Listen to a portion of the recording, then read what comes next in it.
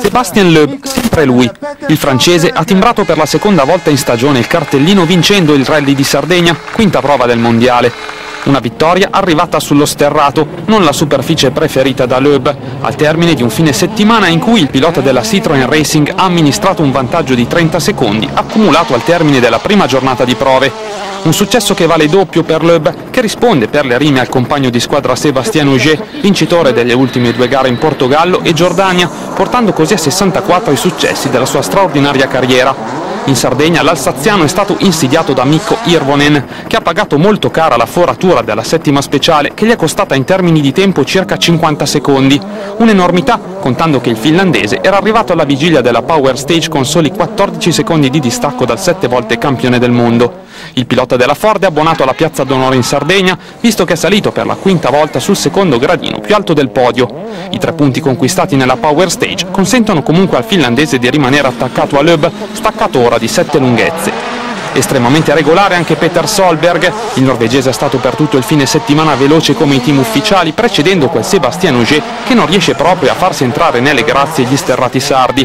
Il francese, reduce da due vittorie consecutive, è rimasto in zona podio fino alla penultima speciale, quella di Terranova, quando un guaio alla sospensione della sua Citroën lo ha relegato in quarta piazza.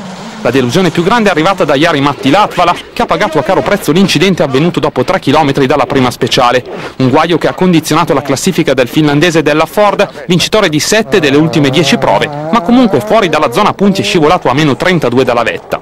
In Sardegna i fari erano puntati sul ritorno della Mini a oltre 40 anni dai trionfi monegaschi. La Countryman, nonostante ampi margini di miglioramento, ha centrato un buon sesto posto con Dani Sordo. L'obiettivo dichiarato dalla casa anglo-tedesca era quella di non sfigurare di fronte ai team ufficiali.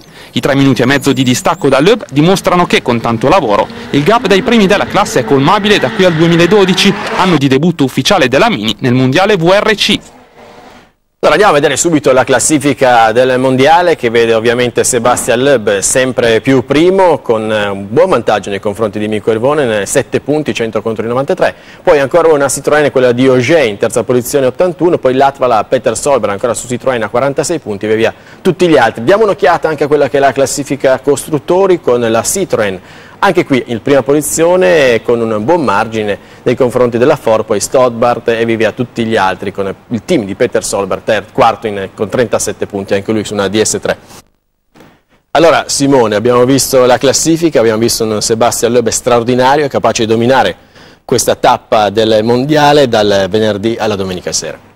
Sebastian Lobi in Sardegna è estremamente carico che ha ristabilito i gradi di, di capitano se dopo la Giordania c'era stato qualche dubbio a discapito del compagno di squadra Auger un Sebastian Loeb che ha attaccato per tre giorni e non dimentichiamo anche che partendo per primo ha dovuto pulire le strade e sulla terra sarda che è molto scivolosa non è assolutamente facile, quindi uno, strad uno stradominio di Sebastian Loeb e della Citroën che ha ridimostrato di essere la vettura da battere. Allora parleremo ancora di questo mondiale, però andiamo a ascoltare proprio le dichiarazioni che ha rilasciato Sebastian Loeb ai microfoni eh, di Sport Italia, una breve intervista realizzata da Claudio Barbieri.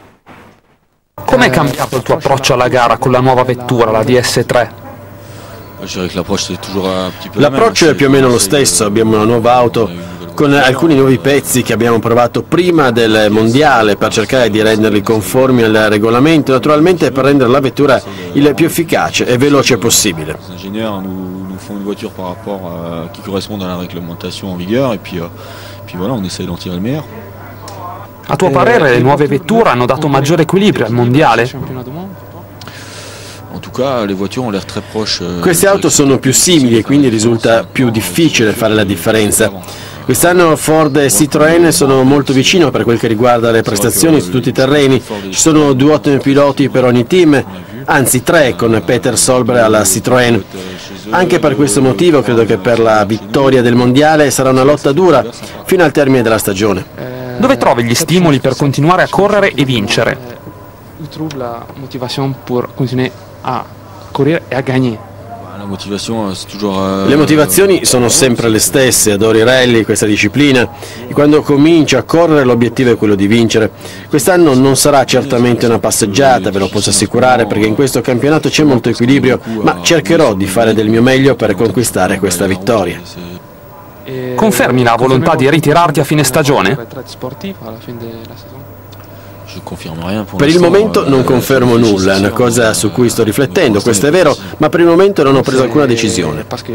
Lo sport è pieno di grandi ritorni, Michael Schumacher in Formula 1, Michael Jordan nel basket, Lance Armstrong nel ciclismo. Il tuo ritiro sarà una scelta definitiva? Sarà un choix définitif euh, Chi aveva deciso il ritiro non avrebbe mai immaginato di rientrare. Certo non si può mai dire, ma penso che la mia sarà una scelta definitiva. Il giorno che deciderò di lasciare l'attività agonistica mi piacerebbe restare nell'ambiente sportivo, ma una volta deciso il ritiro non tornerò più sui miei passi. Allora, Sebastian Loeb non ci ha detto se si ritirerà a fine stagione o no, lo vedremo, lo scopriremo, magari dopo aver vinto ancora l'ottavo titolo consecutivo. Ha la possibilità di farlo secondo te?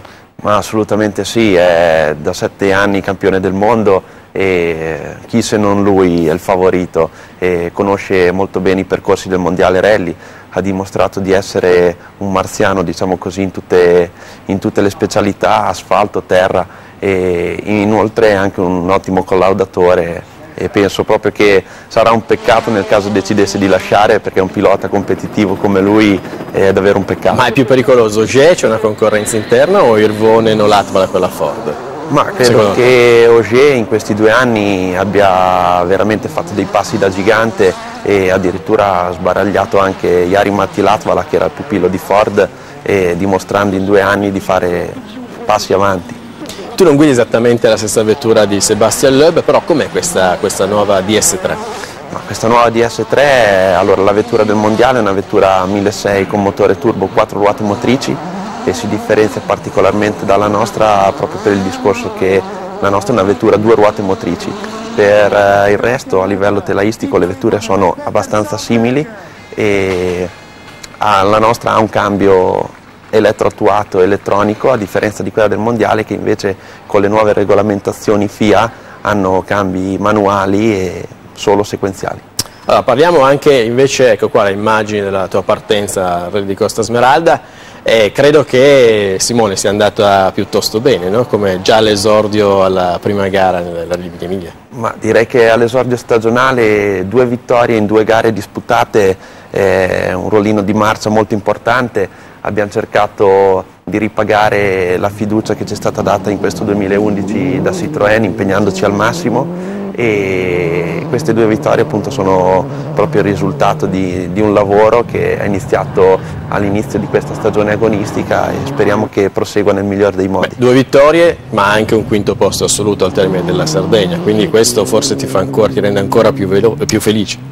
Sì, un risultato che mi rende estremamente felice, mi fa ben sperare anche per il futuro, visto che la gara sarda era in un contesto mondiale e soprattutto ha messo la nuova Citroën DS3 R3 come vettura da battere nella categoria e soprattutto come vettura competitiva a livello anche assoluto in quanto abbiamo tenuto dietro di noi nella classifica generale diverse vetture di Super 2000, quattro ruote motrici. Lecito sognare, e il tuo futuro dove lo vedi? Nel mondiale magari con una Citroën? a fianco quando, magari di Auger quando il Loeb forse... Quando ricevo questa domanda è sempre difficile rispondere. è chiaro che per ogni pilota il sogno è quello di arrivare nel mondiale rally e chi se non con Citroën che è da sei anni campione del mondo costruttori, e però è importante concentrarsi su questo 2011 e continuare a vincere. Prossima tappa? Prossima tappa rally della Targa Florio il 5-6 giugno in Sicilia, nel rally più antico al mondo e dove cercheremo anche lì di andare al massimo per portare i colori Citroën in alto. E noi ti seguiremo, allora grazie a Simone Campedelli, chiudiamo qui questa prima puntata di Motorzone speciale rally, grazie per averci seguito, buon proseguimento naturalmente con i programmi di Sport Italia, Sport Italia 2 e Sport Italia 24.